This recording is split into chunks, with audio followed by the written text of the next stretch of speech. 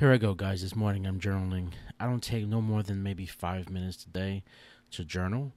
Today took me about six minutes because I was adding a little more things to it. And my journal compromises of real simple things. I have self development, have a manifesto, have a business tab, and have a gratitude tab. And I go through those tabs in order and I make sure I don't I don't write in it every single day. I make sure that things happen to build up so I can write things down. And these are not like a bunch of things, you know, like, like a diary. This is really truly just journaling getting your thoughts out. My manifesto is to, to really get my thoughts out and to work my thoughts out and to question things and ask questions in my manifesto.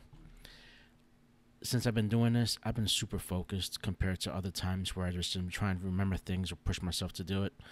Calendars don't work for me. Um, this does not to say I'm not going to use the calendars in the future because I am. I actually have a meeting with my wife next week, and we're going to be discussing the new budgeting tool I created that we're going to be using for our family. We haven't been perfect in our endeavors and, and our finances, so we need to really hunker down and get our shit right. So I created a budget tool that we're going to start using and, and really nail it down to ensure that the money stops bleeding and we start putting our money in the right places because nowadays guys you have to make sure you're going after your finances the way you go after anything else in life because you can't continue to spend the way you spend like you used to. Times are rough. So i suggest you journal if you can